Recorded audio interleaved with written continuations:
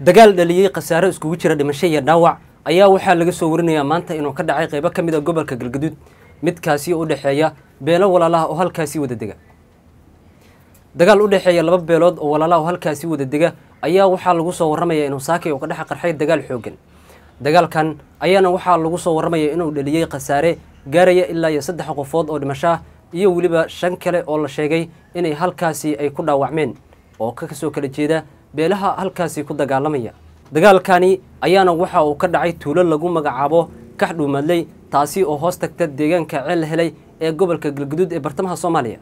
Beelahan u dhexeeya dagaalku ayaa wararku waxa ay nagu soo gaarayaan inay ka soo kala jeedaan deegaanada ceel helay iyo weliba galqoryaale oo ka wada tirsan gobolka galguduud ee bartamaha soomaaliya. Ayadoona wararku ay sheegayaan in dagaalku marba marka ka dambeyda oo intaasi uu ka sii kululaanayo.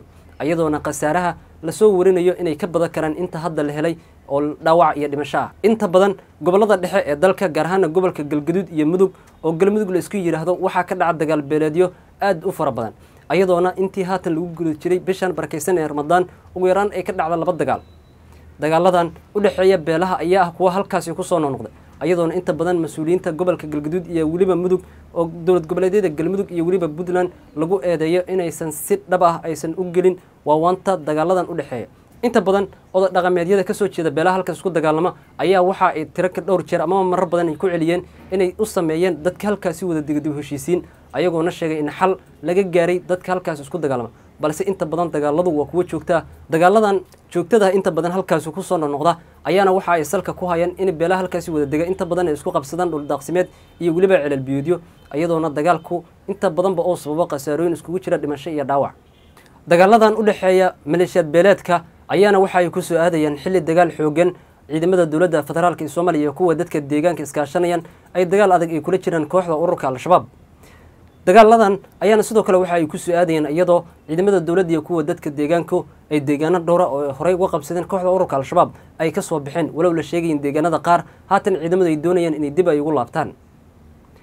Lama oga sida dagaalkan u dhexeeya maleeshiya beeleedyada iyo oo u saamey karo dagaalada ciidamada dowladda iyo kuwa dadka deegaanka. Inta badan gobollada dalka ay kula jiraan kooxda ururka al-shabaab. Wixii ka soo kordha halka ayaan kula wadaagi doonaa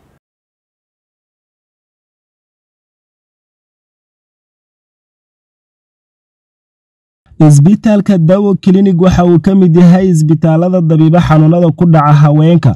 Adeegyada isbitaalka uu bixiyo waxaa ka mid ah daaweynta dhiciska daaweynta dhalmala-aanta daaweynta infekshanka daaweynta caado wareerka. Sidoo kale isbitaalku waxa uu qabtaa baaritaanada hormoonada daaweynta burobiyoodka iyo qaliimadooda daaweynta kaadibaxsadka socoshada hooyada uurka leh iyadoo lala talinayo lana daaweynayo. Isbitaalka waxaa ka howlgasha ditoreysa qamar taawane axmed oo ku takhasustay cudurrada haweenka iyo qaniimadooda.